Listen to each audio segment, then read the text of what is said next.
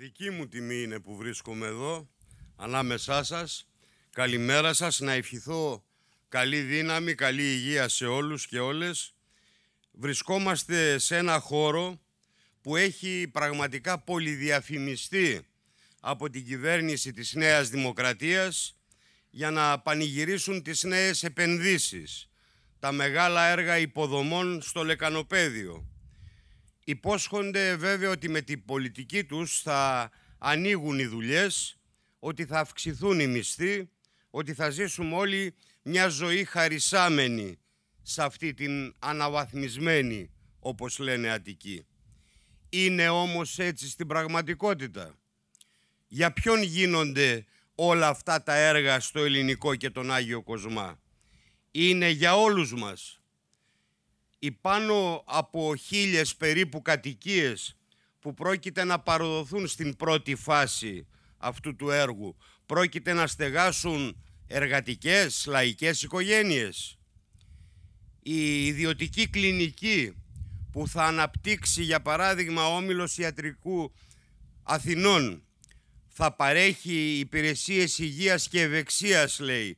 Θα εξυπηρετήσει τις ανάγκες όλου του λαού της περιοχής την ίδια στιγμή που οι ελλείψεις στο Ασκληπιείο Βούλας και σε όλα τα νοσοκομεία χτυπάνε κόκκινο όπως και στα παιδιατρικά. Το ιδιωτικό σχολείο πρωτοβάθμιας και δευτεροβάθμιας εκπαίδευσης που θα αναπτύξει ο οργανισμός νομίζω Κωστέας Γείτονας πρόκειται να εξυπηρετήσει τις ανάγκες των παιδιών των λαϊκών οικογενειών. Το λεγόμενο Μητροπολιτικό Πάρκο θα αποτελέσει πράσινο πνεύμονα για το λεκανοπέδιο ή θα γίνει το πράσινο προάβλιο των πολυτελών κατοικιών των ξενοδοχείων με εμπορικές δραστηριότητες που είναι πανάκριβες όμως για τον ελληνικό λαό. Ποιος θα πληρώσει τη μεγάλη αύξηση του κόστους της στέγασης και της επαγγελματικής στέγης, των ενοικίων, που όλα αυτά συμπαρασύρουν προς τα πάνω και τους άδικους φόρους που έχουν επιβληθεί από όλες τις κυβερνήσεις μέχρι σήμερα, όπως είναι ο Έμφυα και άλλοι. Όσοι άλλωστε κατοικείτε στην ευρύτερη εδώ περιοχή, θα έχετε διαπιστώσει ήδη την ανωδική τάση των τιμών που προστίθεται στη μεγάλη ακρίβεια που κατατρώει το εργατικό λαϊκό εισόδημα.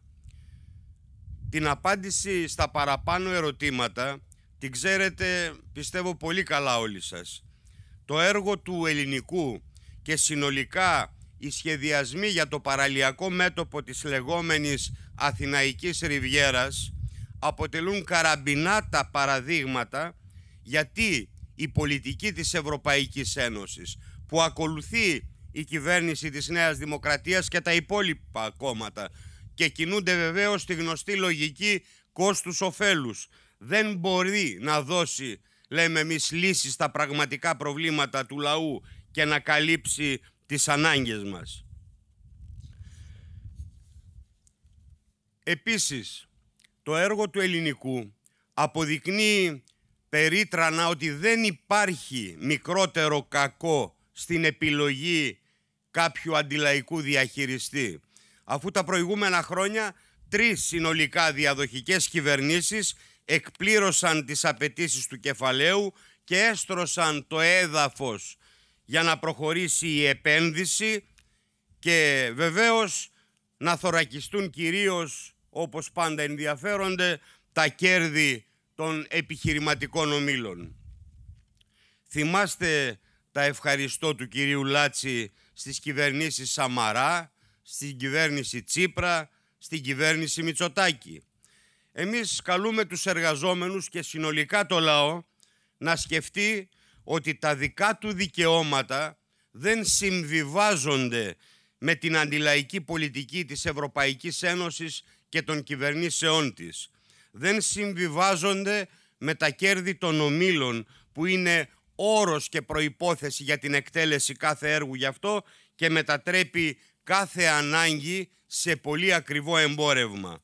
Να μην χαμηλώσει τις απαιτήσεις του ελληνικός λαός και να αγωνιστεί με κριτήριο την πραγματική δυνατότητα να καλυφθεί το σύνολο των αναγκών μας σήμερα με βάση επιστημονικά και τεχνολογικά επιτεύγματα που υπάρχουν στην εποχή μας. Είναι μεγάλη κατάκτηση ότι καταφέρατε οι εργαζόμενοι εδώ στο έργο να ιδρύσετε το δικό σας σωματείο που ενώνει όλες τις ειδικότητες για την κατασκευή του συνόλου των έργων στο ελληνικό και τον Άγιο Κοσμά.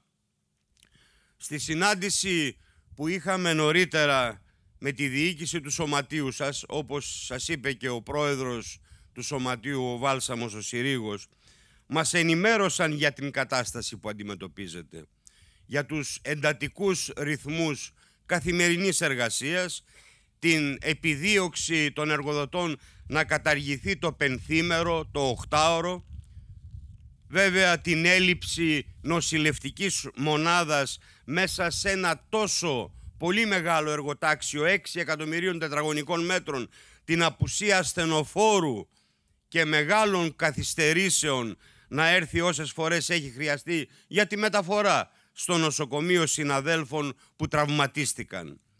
Μας ενημέρωσαν για τις συνθήκες εργασίας και την έλλειψη μέτρων ασφαλείας σε πάρα πολλές περιπτώσεις που κρούν τον, τον κόδωνα του κινδύνου για σοβαρά εργατικά ατυχήματα αλλά και για επαγγελματικές ασθένειες.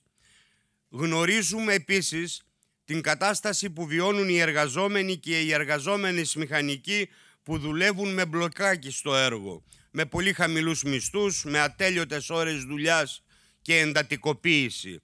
Σε αυτούς δεν αναγνωρίζεται ούτε και τυπικά η έννοια του ωραρίου εργασίας, της άδειας των παροχών μητρότητας για τις γυναίκες εργαζόμενες. Πληρώνουν από την τσέπη τους τις ασφαλιστικές εισφορές. Η εργοδοσία βέβαια είναι αυτή που κερδίζει από όλο αυτό το καθεστώς. Δεν είναι τυχαίο που οι εργοδότες του κλάδου αρνούνται να υπογράψουν συλλογικές συμβάσεις εργασίας για τους μηχανικούς που να καλύπτει τους αμοιβόμενους με μπλοκάκι. Ξέρετε πολύ καλά πως το ΚΚΕ θα συνεχίσει να αναδεικνύει όλα αυτά τα ζητήματα και θα παλέψει, θα παλεύει μαζί σας για να δοθούν λύσεις όπως ήδη κάνει. Αντίστοιχα βέβαια είναι και τα προβλήματα που αντιμετωπίζουν και οι μετανάστες οι εργαζόμενοι μετανάστες στο έργο, το οποίο έχουν επίσης αναδείξει ως ζητήματα και τα συνδικάτα, δηλαδή την επιδίωξη των μεγάλων εργολάβων για φτηνά εργατικά χέρια. Μια επιδίωξη που πρέπει να πω ότι έφτασε στο σημείο μάλιστα συγκεκριμένη δικηγορική εταιρεία να διαφημίζει στις εταιρείες του κλάδου ότι μπορεί να τους εξασφαλίσει μετανάστες σε τιμή ευκαιρίας διαφημίζοντας ξεδιάντροπα επιλέξει αν θέλετε λέει να προσλάβετε φτηνά εργατικά χέρια τότε η λύση είναι εδώ. Φυσικά άμεσα το Συνδικάτο Οικοδόμων Αθήνας κατήγγειλε το απαράδεκτο αυτό γεγονός. Η καταγγελία πήρε πολύ μεγάλη δημοσιότητα που προκάλεσε και την παρέμβαση του εισαγγελέα. Το ΚΚΕ ανέδειξε και το θέμα αυτό με ερώτησή μας στη Βουλή. Άλλωστε, όσοι εργάζεστε στον κλάδο των κατασκευών, έχετε μεγάλη πείρα ότι οι εργάτες δεν έχουν να χωρίσουν τίποτα μεταξύ τους, αλλά αντίθετα έχουν κοινά συμφέροντα, ανεξάρτητα από εθνικότητα, από γλώσσα, από θρησκεία κλπ. Φίλες και φίλοι, τα προβλήματα των εργαζομένων και σε αυτό το τεράστιο εργοτάξιο και σε όλους τους κλάδους έχουν αιτία και αυτή έχει ονοματεπώνυμο.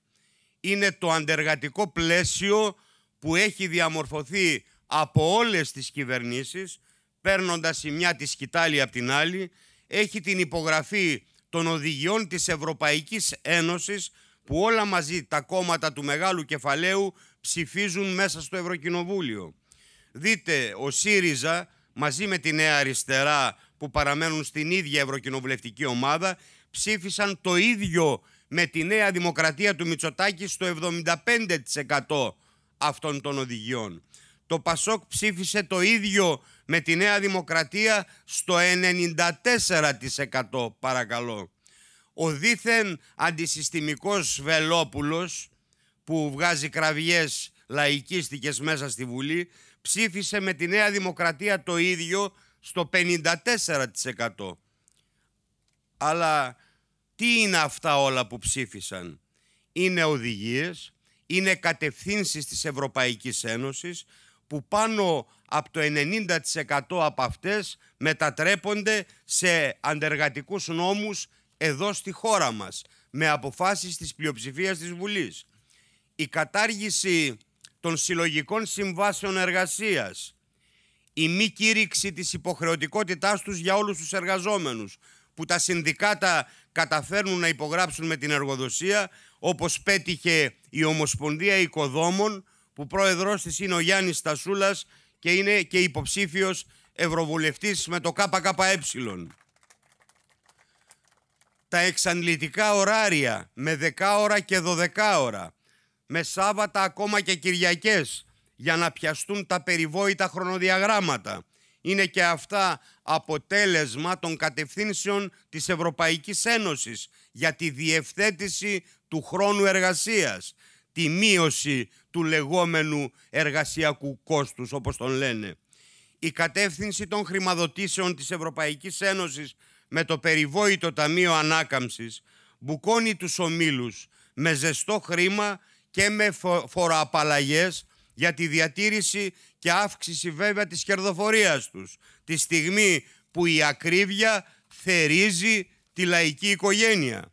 Γνωρίζουμε ότι στον κλάδο των κατασκευών γίνεται μεγάλη συζήτηση για το αν υπάρχουν εξειδικευμένα εργατικά χέρια για να εκτελέσουν τα τεράστια ανεκτέλεστα έργα των ομίλων. Μεγαλοεργοδοσία, κυβέρνηση, τα άλλα κόμματα του συστήματος έχουν τεράστιες ευθύνες γιατί την κρίση του συστήματός τους την προηγούμενη δεκαετία τη φόρτωσαν στις πλάτες των εργαζομένων. Η ανεργία χτυπούσε κόκκινο στους οικοδόμους που για να επιβιώσουν αναζήτησαν σε άλλους κλάδους δουλειά με αποτέλεσμα να χαθούν ειδικότητες. καθώς έμπειροι εργαζόμενοι αναζήτησαν αλλού την τύχη τους. Αλλά και τώρα που ο κλάδος βρίσκεται σε ανάπτυξη, πάλι οι εργαζόμενοι την πληρώνουν που ζουν μέσα στην εντατικοποίηση και οι εργοδότες να κλαψουρίζουν για την έλλειψη εργατικών χεριών. Γι' αυτό προσπαθούν να συνάψουν διακρατικές συμφωνίες με άλλες χώρες, χωρίς όμως να λύνουν το πρόβλημα των απαραίτητων εγγράφων των μεταναστών εργαζομένων, κρατώντας τους διαρκώς σε μια άτυπη ομοιρία, ενώ δεν έχουν εξασφαλιστεί συμφωνίες με όλες τις χώρες, ώστε τα ένσημα να μετράνε παντού. Είτε τα έχει δουλέψει κάποιος στην Ελλάδα, είτε σε άλλη χώρα, όπως θα έπρεπε να είναι. Όλα αυτά θεωρούμε ότι πρέπει εδώ και τώρα να λυθούν και οι εργάτες ενωμένοι να παλέψουν για τα δικαιώματά τους και το ΚΚΕ θα είναι στο πλάι σας. Γιατί αν θέλουν εργατικά χέρια θα πρέπει να πληρώνουν αξιοπρεπώς. Γι' αυτό και η συλλογική διεκδίκηση είναι δύναμη στα χέρια σας. Μαζί με τα σωματεία σας, με την ομοσπονδία σας, μπορείτε να πετύχετε πραγματικά πολλά. Γιατί δεν θα σκοτωθούν οι εργάτες για να πιάσουν οι διάφοροι κατασκευαστικοί όμιλοι τα χρονοδιαγράμματά τους.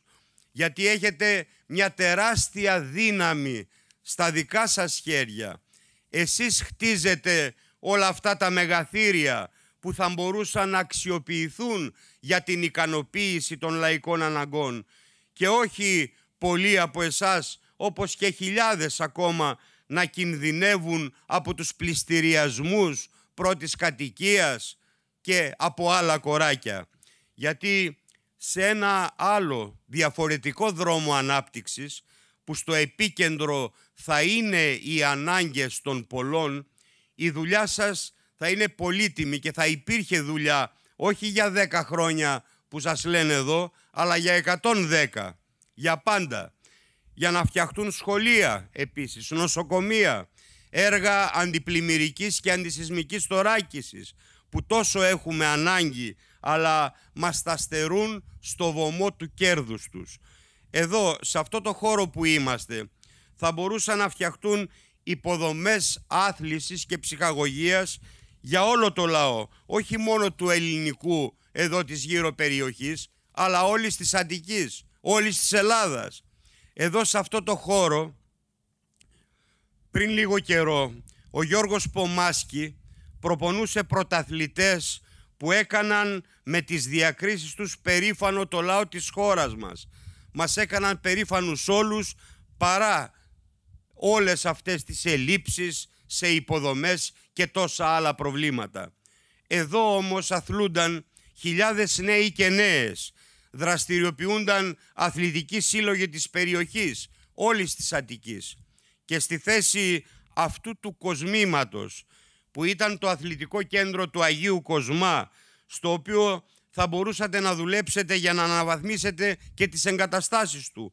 Τι φτιάχνουν για να αναδεικνύονται πρωταθλητές των κερδών οι κατασκευαστικοί όμιλοι; 27 βίλες για τους VIP, αυτούς δηλαδή για τους οποίους δέσμευσαν το μεγαλύτερο νοσοκομείο της χώρας προχθές τον Ευαγγελισμό, αντιμετωπίζοντας τους ασθενείς ανάλογα με την τσέπη τους για άλλη μια φορά. Και έχουν την απέτηση από εσά να σκοτώνεστε στη δουλειά για τις βίλες, τις πισίνες, τους ουρανοξύστες, τα καζίνο των πλουσίων. Θα θέλαμε όμως να επισημάνουμε και μια άλλη πλευρά. Δεν περνάει απαρατήρητη η προσπάθεια τόσο της μεγαλοεργοδοσίας όσο και των κυβερνώντων να ρημουλκίσουν τους εργαζόμενους στους δικούς τους στόχους. Με τα γνωστά επιχειρήματα ανοίγουν δουλειές για την ανοικοδόμηση περιοχών στο εξωτερικό, θα γίνουν επενδύσεις και έτσι όλοι θα βγούμε κερδισμένοι και οι μέτοχοι και οι εργαζόμενοι. Μόνο που ο μόνος κερδισμένος θα είναι τα θησαυροφυλάκια των εκμεταλλευτών. Γιατί ξέρουμε, έχουμε πλέον μεγάλη πείρα, ότι δεν γίνεται να είναι και η πίτα ολόκληρη και ο σκύλος χορτάτος. Για να έχουν κέρδη οι μέτοχοι πρέπει να χάσουμε εμείς. Πρέπει να εκμεταλλευτούν περισσότερο τους εργαζόμενους. Γιατί από τη δική σας δουλειά, από τη δική μας δουλειά βγαίνουν τα κέρδη τους. Για να έχουμε κατακτήσεις πρέπει να χάσουν αυτοί. Μέση λύση δεν υπάρχει. Όμως μας καλούν και σε κάτι πολύ πιο επικίνδυνο. Μας λένε να βάλουμε τα χέρια μας και να βγάλουμε τα μάτια μας. Θέλουν να πανηγυρίζουμε γιατί η χώρα μας είναι βουτυγμένη μέχρι τα μπούνια στις πολεμικές συγκρούσεις και στην Ουκρανία και στη Μέση Ανατολή, στο πλευρό των Ηνωμένων Πολιτειών Αμερικής, του ΝΑΤΟ, της Ευρωπαϊκής Ένωσης, βάζοντας σε μεγάλους κινδύνους το λαό μας, μετατρέποντας τη χώρα σε ορμητήριο κατά άλλων λαών, αλλά και ως στόχο αντιπίνων. Δηλαδή τι θέλουν, να κλείσουμε τα μάτια στη γενοκτονία του Παλαιστινιακού λαού, στο δράμα του Ουκρανικού και του Ρώσικου λαού, γιατί τελικά μόνο οι λαοί την πληρώνουν. Με λίγα λόγια, η εργοδοσία, η κυβέρνηση με τη συμφωνία των άλλων κομμάτων εξαπολύουν καθημερινό πόλεμο στα δικαιώματά μας. Με τη σωματική ακαιρεότητα να παίζετε κορώνα γράμματα κάθε μέρα και την ίδια στιγμή να περιμένουν σαν τα κοράκια πάνω από τα συντρίμια του πολέμου για να κάνουν business μετά στην ανοικοδόμηση κατεστραμμένων λαών και χωρών και για φθηνά εργατικά χέρια από κατατρεγμένους μετανάστες και πρόσφυγες. Εμείς προτάσουμε την κοινή πάλι Ελλήνων και μεταναστών εργαζομένων απέναντι σε ένα κοινό αντίπαλο. Αντιπαλεύουμε στην πράξη το ρατσισμό, την ξενοφοβία, τις διακρίσεις. Δηλώνουμε και από εδώ τη στήριξή μας στον αγώνα των εργαζομένων στα εργοτάξια κατασκευής της γραμμής 4 του μετρό που κλιμακώνεται αυτές τις μέρες με επαναλαμβανόμενες 24 ώρες απεργίες και διεκδικούν τα αυτονόητα. Δηλαδή καλύτερα μεροκάματα και μισθούς, καλύτερες συνθήκες δουλειάς, 8 και όχι δουλειά 10 ώρη, 12 ώρη. Η απόφασή τους για συνέχιση των κινητοποιήσεων μέχρι να ικανοποιηθούν τα αιτήματα είναι ομόφωνη και καθολική. Επιβεβαιώνει ότι οι εργαζόμενοι εμπιστεύονται τη δύναμη του αγώνα. Η κυβέρνηση και προσωπικά ο Πρωθυπουργός έχουν ευθύνη να αναγκάσουν την εταιρεία που έχει αναλάβει το μεγαλύτερο δημόσιο έργο στην Αττική που χρηματοδοτείται από λεφτά του κράτους να κάτσει στο τραπέζι των διαπραγματεύσεων με το σωματείο των εργαζομένων και να ικανοποιήσει εδώ και τώρα τα αιτήματά τους. Και ας αφήσει την κοροϊδία με τις επιστολές στην κυρία Ούρσουλα Φοντερ Λάιεν. Λες και η Ευρωπαϊκή Ένωση και η κυρία Ούρσουλα, αυτός ο εμπριστής της ακρίβειας, μπορεί να είναι και ο πυροσβέστης της ακρίβειας. Γνωρίζουν ότι όσα βιώνουν είναι αποτέλεσμα μιας πολιτικής που συνδιαμορφώνεται μέσα στην Ευρωπαϊκή Ένωση και από την κυβέρνηση της Νέας Δημοκρατίας και από το ΣΥΡΙΖΑ και από το ΠΑΣΟΚ και από το κόμμα του Βελόπουλου και στη συνέχεια παίρνει σάρκα και οστά μέσα στη χώρα μας με συγκεκριμένα αντεργατικά μέτρα και νόμους μέσα στην Ελληνική Βουλή. Γι' αυτό οι εργαζόμενοι επιλέγουν να αγωνιστούν. Αγώνας, μάχη, είναι και η κάλπη την άλλη Κυριακή στις 9 του Ιούνιου. Όπως δίνουμε το παρόν στις καθημερινές μάχες για τη δουλειά μας, για τα δικαιώματά μας, έτσι πρέπει να δώσουμε και το παρόν σε αυτή τη μάχη των ευρωεκλογών. Μόλις κλείσει η κάλπη των ευρωεκλογών, ο λαός μας πρέπει να έχει τη δύναμη, να έχει δύναμη για μεγαλύτερους, για σκληρότερους αγώνες, γιατί τα προβλήματα παραμένουν και δυστυχώς οξύνονται και μετά τη Δευτέρα της 10 του Ιούνιου. Γι' αυτό στις εκλογές πρέπει να κοντίνουμε την κυβέρνηση της Νέας Δημοκρατίας και όλα τα κόμματα της Ευρωπαϊκής Ένωσης, όλα τα κόμματα αυτού του άθλιου σάπιου συστήματος, να ενισχυθεί το ΚΚΕ, η δική σας φωνή, η δική σας δύναμη. Αυτό θα βοηθήσει στους αγώνες.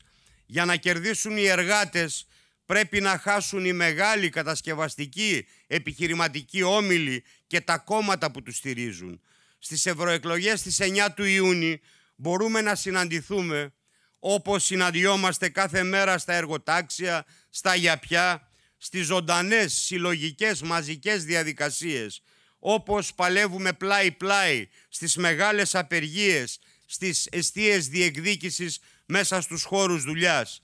Να ψηφίσουμε όπως αγωνιζόμαστε για το μεροκάματο, για τον ελεύθερο χρόνο μας, για εμάς και τις οικογένειές μας, για να μπορεί να νιώθει ο κάθε εργαζόμενος, η κάθε εργαζόμενη ασφαλής σώος και σώα το πρωί όταν φεύγει από το σπίτι για τη δουλειά, ότι θα γυρίσει ξανά σώος και αυλαβής και το βράδυ. Οι εργάτες, οι εργαζόμενοι έχουν το δικό τους κόμμα, το ΚΚΕ. Η ενίσχυσή τους πρέπει και να αποτελέσει τη φυσική συνέχεια αυτών των αγώνων. Γιατί μόνο έτσι ο αγώνας μας, οι διεκδικήσεις μας θα ενισχυθούν και θα μετρήσουμε νίκες και αποτελέσματα. Οι εργάτες, ο λαός μας μπορούν να τα καταφέρουν και αυτό θα γίνει. Με αυτά τα λόγια θα ήθελα να σε ευχηθώ ξανά καλή δύναμη, καλή υγεία σε όλους και όλες, καλούς αγώνες. Γεια σας.